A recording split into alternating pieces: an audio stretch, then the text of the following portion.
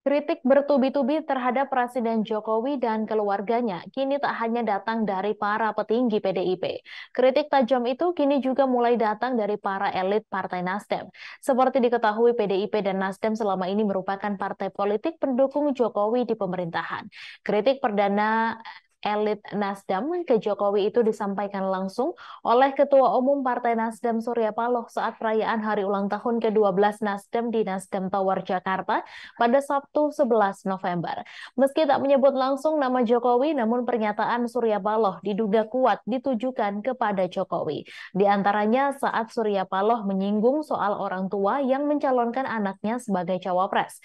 Di Pilpres 2024 ini hanya Jokowi yang mendukung anaknya Gibran Raka Buming Raka menjadi cawapres Prabowo Subianto.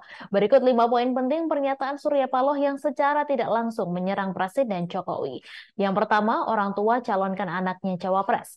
Dalam pidatonya, Surya Paloh mengatakan dirinya tidak akan mencalonkan anaknya sebagai cawapres meski memiliki kesempatan. Hal itu dikatakan Surya Paloh saat menjawab pertanyaan seorang kadernya dari Jawa Timur soal apakah ia akan mencalonkan anaknya Prananda Surya Paloh sebagai cawapres.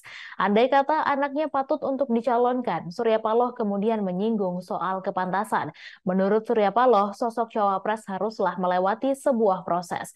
Proses itulah yang kemudian menjadikan sang anak sosok yang matang. Yang kedua, singgung aparat negara. Surya Paloh menyebut banyak aparat negara yang terseret pada kepentingan pribadi dan golongan. Surya menambahkan upaya menyeret aparatur negara pada kepentingan politik praktis melahirkan ketidakpercayaan masyarakat kepada negara. Surya mengatakan negara kini telah mengalami penurunan kewibawaan pada tingkatan yang paling rendah akibat praktik tersebut. Hal ini yang menyebabkan rakyat mengalami kesulitan menempatkan kepercayaan kepada sosok selain pemerintah. Yang ketiga, melawan jika ada ketidakadilan. Surya Paloh menyatakan pihaknya tidak akan diam apabila ada penguasa yang bertindak tidak adil demi untuk kepentingan kelompoknya. Ditegaskan Surya Paloh pihaknya akan menerima situasi apa pun baik itu sedih atau nestapa asalkan muncul dari nilai keadilan. Dikatakannya keadilan adalah rasa spiritualisme keadaan yang dapat membimbing manusia pada hidup yang sesuai dengan sunnatullah.